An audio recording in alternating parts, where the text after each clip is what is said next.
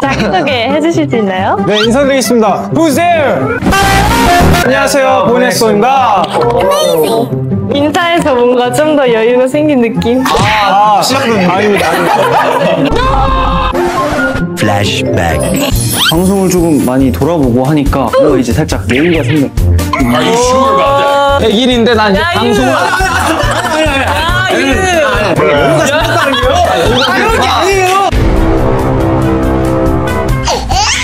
End of flashback. 데뷔 100일 만에 방송 마스터한 여유의 아이콘 운학스. What? 지금은 데뷔한 지 300일이 넘었는데 얼마나 더 여유. 아, 이거를 편집해 우리가 놀리는 게 아니라 궁금해하시는 거야. 보이는 그대로입니다. 여유가 넘쳐요. 막. 아니 아니 아니. 선배님에 비하면은 더 여유롭지 않아요? 저는 항상 스타일게 찍을 때 긴장해요. 네, 알겠습니다. 네, 알겠습니다.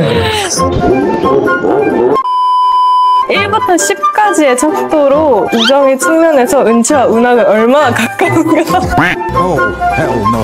혹시 한 2년?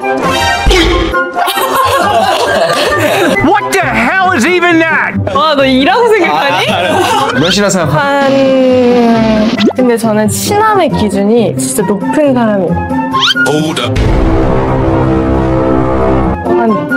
한 4? 뭐가 다른 거죠? 이런 사람 뭐가 다른 거야? 뭐가 달라요? 아직 그렇게 사실 친하지 않다. 그냥 사실 말만 뭐. 앞으로 더 친해질 예정입니다. 네.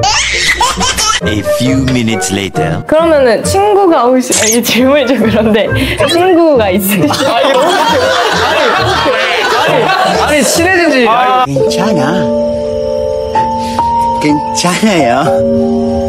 괜찮아.